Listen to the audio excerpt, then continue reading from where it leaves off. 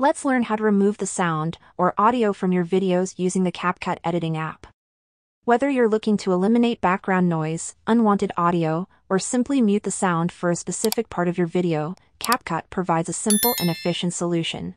The process is very simple and it works for both iOS and Android devices so just follow my steps. Open your CapCut application and then you want to import a video from which you want to remove the sound.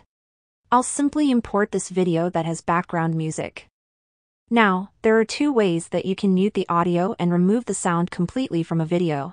The first method is to select the video, then scroll down here until you can see the volume icon. You want to click on it and a little volume slider will appear. Just drag the slider all the way to the left in order to completely mute the sound from your video. And there is another method also.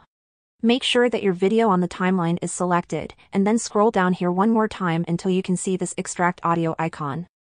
When you tap on it, it will separate the video and the audio tracks from one another, and the bottom one is the sound track. If you want to remove it, tap on it to select it and then click on this trash can icon in order to delete your audio. And that is how you can remove the sound from your audio and mute the video completely.